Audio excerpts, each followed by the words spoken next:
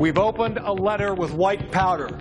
Use the southeast corridor to the holding room. You all know the drill. Tony. Letter opened in Special Agent Gibbs' office dispersed a fine white powder. Initiating bio-attack procedures. Third floor is evacuating. McGee, you up on procedures? Yeah, we uh, we shower, burn our clothes, get our blood tested. Nobody leaves the building until the substance is identified and except. Lucky me. I win a free trip to Bethesda to be pricked like a pincushion. We've shut down the air. Let's hit the showers, Tony. I Thought you'd never ask. Sorry, boss.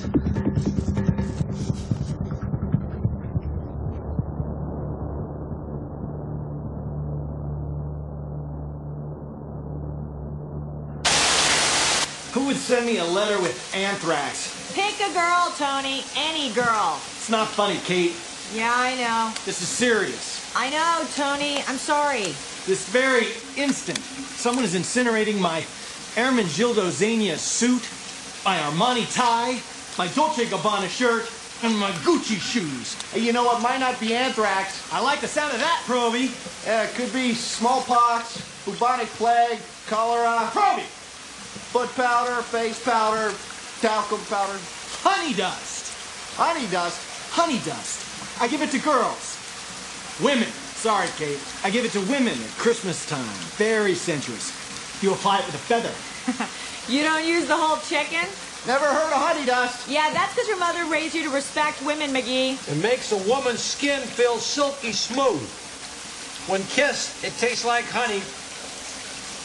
Got a box of honey dust last Christmas. No card.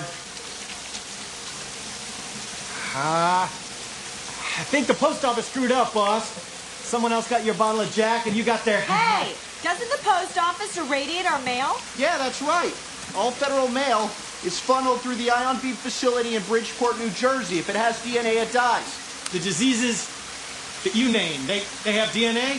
They do. Oh, you should have let him squirm. Ha ha! Then it's no worries. Unless the post office screwed up again.